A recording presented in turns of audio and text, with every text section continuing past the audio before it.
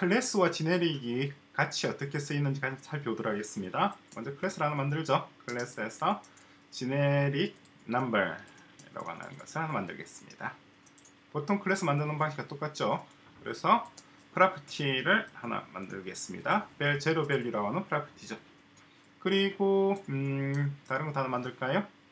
어, add 해서 add는 x를 받아서 x와 y를 받아서 이걸 뭔가를 하는 거예요.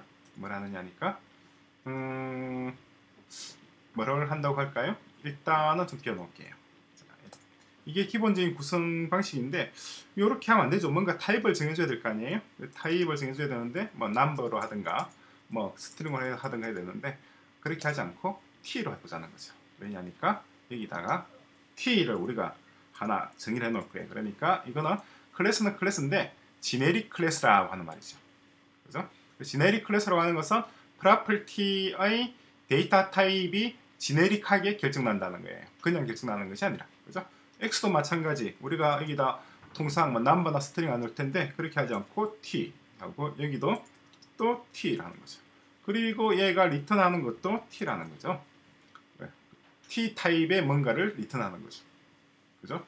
이런 식으로 만들어진 것이 흔히 소위 말하는 generic 클래스입니다. 이것을 generic 클래스라고 해요. generic 클래스.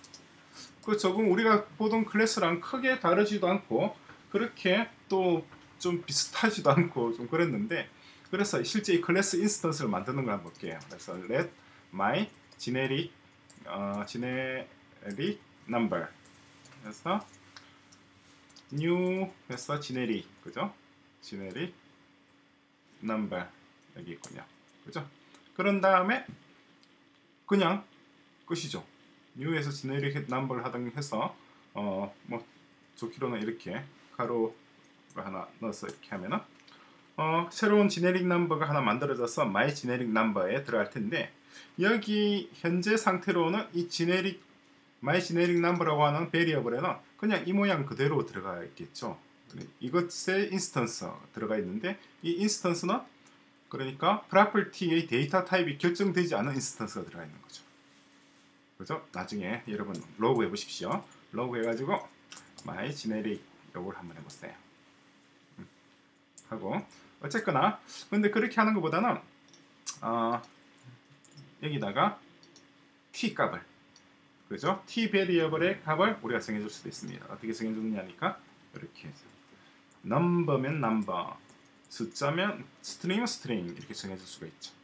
그러면은 여기 t 자리에 넘버가 들어가 있다고 보시면 됩니다. 그럼 여기도 넘버고 여기도 넘버, 넘버, 넘버 그죠? 이 전체가 다 넘버란 말이에요. 이것을 결정하기 위해서 여기다 이렇게 우리가 선언해 준 거죠. 그죠? 그래서 여기다가 이제 값을 할당하는 방법은 간단하죠. 그래서 해서 변수를 하나 만들었으니까 다음에 여기다가 음, 점 zero value 지금은 여기 아무것도 안 들어가 있겠죠. 그죠? 그죠? 아무것도 안 들어가 있겠지만 로그 해보십시오. 여기다 제로를 넣을 수가 있는 거죠. 숫자를.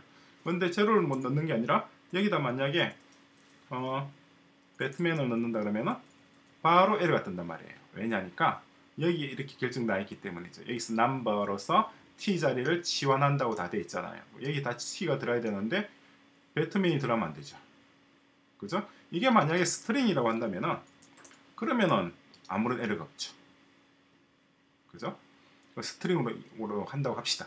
어, 그런 다음에 그런 다음에 이제 또 하나 my 해서 add를 불러서 호출하는 거죠. 호출해서 어, 이 add, add에다가 function을 하나 넣을 거예요. anonymous 펑션을 넣겠습니다. function xy를 받아서 return을 뭘 하느냐니까 return 한 칸 띄워주고 return x 더하기 y 이렇게 리턴하는 거죠. 그죠? 자 그렇게 해서 그러면 add에 해서 add에다가 배터맨과 한번 뭘 넣어보죠. 그래서 음, 뭘 리턴해 볼까요? 여기다가 그래서 어, 일단 이걸 function을 호출을 하죠. 해보죠. 해보고 그런 다음에 어, 또 다른 걸 같이 한번 해보도록 하겠습니다. 여기다가 어, 뭘 달까요?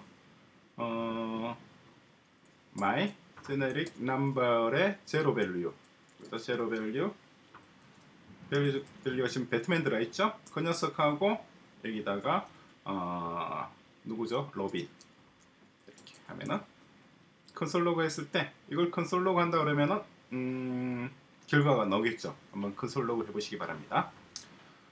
어, 그런데 만약에 여기다가 어, my generic number의 에, zero value에다가 숫자 1을 넣는다고 한다면 어떻게 될까요? 그러면은 에러가 떠요. 왜냐니까 우리가 string으로 해놨기 때문이죠. 그죠? 이게 다예요.